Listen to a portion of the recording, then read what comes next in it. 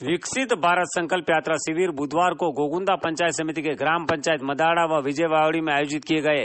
इस दौरान स्कूली छात्र छात्राओं ने सांस्कृतिक व रंगारंग कार्यक्रम प्रस्तुत किए। कार्यक्रम की शुरुआत में शिविर के दौरान आए अतिथियों का माला व उपन्यास से स्वागत किया गया, जिसके बाद शिविर में सभी योजनाओं की जानकारी देते हुए लोगों को योजनाओं से जोड़ने के लिए आवेदन लिए गए।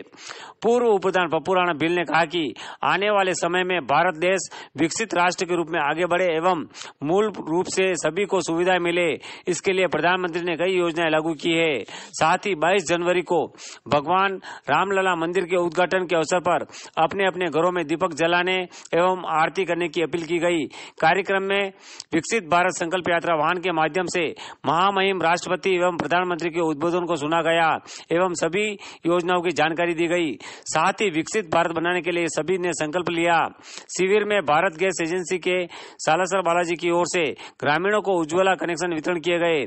इस दौरान शिविर में अतिरिक्त मुख्य कार्यकारी अधिकारी अंजुमन, ताहिर समा गोकुंदा तहसीलदार ओम सिंह लखावत, विकास अधिकारी हीरालाल मीणा, महिला एवं बाल विकास अधिकारी प्रेमलता जोशी, चिकित्सा विभाग से डॉक्टर राम सिंह मीणा व धीरेज सालवी सहित सभी विभागों अधिकारी के साथ गोकुंदा प्रधान सुंदर देवी गमेती, पूर्व उप प्रधान पप्पू राणा भील, पंचायत समिति सदस्य दिलीप गमेती, सरपंच लीला देवी गमेती गोकुंदा मंडल अध्यक्ष चंद्रेश फतावत उप सरपंच भोलाराम, विकास अधिकारी बीर सिंह देवड़ा, सरपंच प्रतिनिधि रामलाल गमेती, विजय वावड़ी सरपंच धनकीबाई, उप सरपंच गीता कुमार, ग्राम विकास अधिकारी गणेश तेली, रोज़गार सहायक महेंद्र सिंह सहित क्षेत्र के जनप्रतिनिधि व कार्यकर्ता मौजूद रहे।